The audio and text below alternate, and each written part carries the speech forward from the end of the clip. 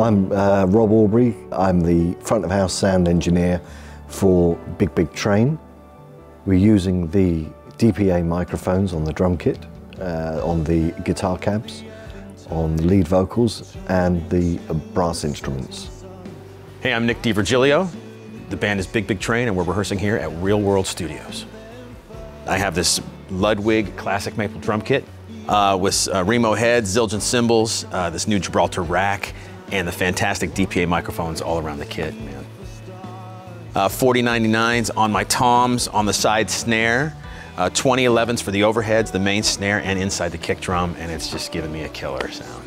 The 2011 on the kick has been uh, a revelation, in, in all honesty. Just put it in the sound hole, didn't have to do anything to it.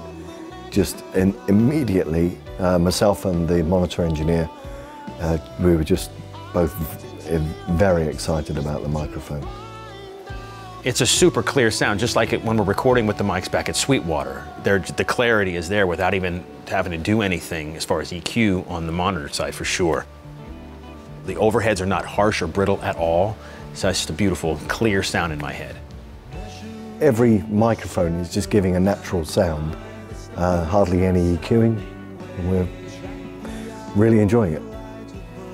We have a pretty thick sound as far as this band's concerned. Big keyboard sounds and pads, lots of guitars, plus all the vocals going on. So it's to have the, the clarity of my mix, uh, it just helps quite a bit. I can play easier, I don't have to overplay, and just relax from behind the kit.